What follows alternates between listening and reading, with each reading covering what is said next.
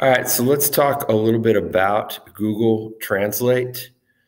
Um, as a student, I'm logged in to my Chromebook as a with a student account, so all this is doable uh, by your kids. Um, and I went to the Chrome Web Store and I installed Google Translate. So I searched for Google Translate. And these are the results that came up. So there's Google Translate, and your button should say add to Chrome like this one does right here. Um, so there you go. I already have it installed. So I'm going to right click on Google Translate and then let's go down to options. And you're going to set your Spanish speakers to Spanish or whatever language is their primary language. Don't put English. Um, and then I like this little button right here, display icon that I can or I can click on to pop up. Uh, immediately pop up is okay, might get annoying, and don't display icon or, pipe, or pop up. That means you have to go over here to the button. Um, let's, let's just leave it right here, display icon, and then save. So now I'm on this page right here, and I want, I'm on a web page, any web page, and I want this uh, text that I selected to be translated. So notice this little icon popped up. And now I have my English uh, phrase, but below that, notice that it has been translated into Spanish and I can click on the microphone. Una palabra o frase que describe una acción, condición o experiencia. And it's read aloud. So I have uh, you know, a couple of different, um, if they can't read very well, if you got younger kids, uh, there you go. All right, so that is just over the web. This is any web page. Um, let's get to part two of this video.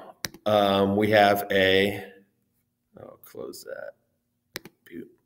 Um, we have a, a, PDF document that came from, I don't know, my curriculum uh, or a test or something like that.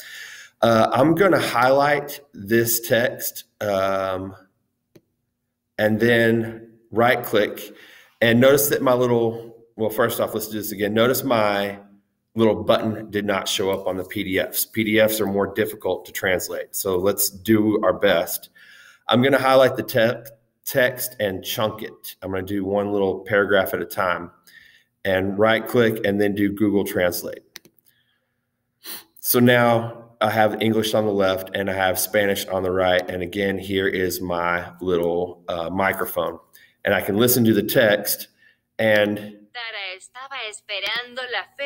go back to my PDF. So I can get kind of one paragraph at a time and still be interacting with the um, document. A lot of times, uh, well, let's take a look at it. Let's try and translate the whole document. So that'd be part three of the video. Uh, I'm going to, um, let me see. Yeah, so now I have the document. It's been saved to my Google Drive. And I'm going to click on Open with Google Docs. And notice that the graph might not be showing up and uh, the formatting has kind of disappeared like that little chart first off. That chart's gone and our little diagram's gone or our little uh, icon's gone. Um, so that's kind of a bummer but um, if you don't mind all that i'm going to click on tools and then translate document. So once you do this it's going to say copy of pdf worksheet. I need to choose my language and then click on translate. So this will work. It might not be perfect, but uh, yeah, it it's kind of a few steps, and the document doesn't come through as pretty as I'd like it. I would prefer to just chunk this one paragraph at a time and go back to the original document. But anyway, I hope these three tips have helped out. Y'all give me a shout.